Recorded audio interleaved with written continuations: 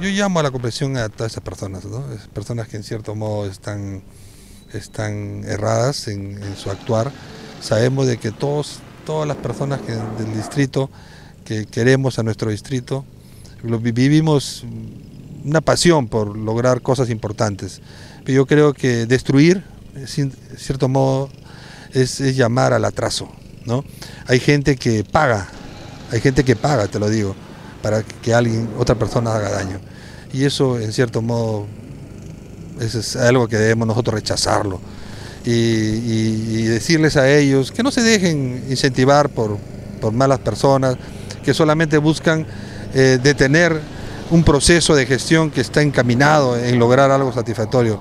Quizás de repente ahora Enrique del Campo como alcalde este, eh, le, ha tocado pasar por este tipo de situaciones en el cual nosotros nos hemos abocado en decir, algún día se quiso que esta, este escenario sea el mejor, ¿no?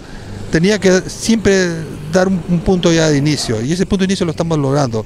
Teníamos que en algún momento hacer una, plaza de armas en Sumanique. Se, se logró este, inaugurar la plaza de armas en Sumanique y a los pocos días el, ¿no? Eh, un detonante hizo que la mitad de, la pieza arqueológica mochica ¿no? Eh, se, se deteriore. Eso genera que un rechazo de la, colectividad. Yo no creo que toda la población, en cierto modo, apruebe ese tipo de situaciones.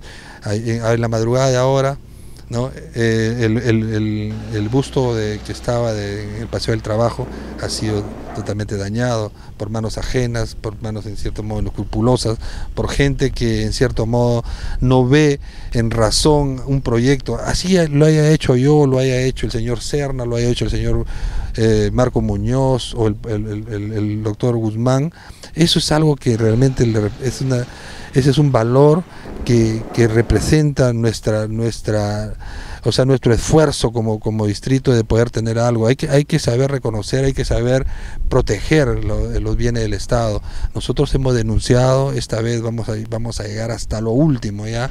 ¿no? Eh, tenemos algunos sospechosos de esto y las personas que en cierto modo resulten responsables de esto, van a tener, cierto modo, el, peso de la ley como debe ser. Y nosotros queremos saber y llegar hasta el último quiénes han sido las personas que han, incentivado para que eso se dé. Porque eso no debe ser. No estamos, estamos en otro siglo donde nosotros debemos, debemos eh, revalorar lo bueno que podamos tener en nuestros distritos. Hay otros distritos pequeños, chicos, pero que son acogedores.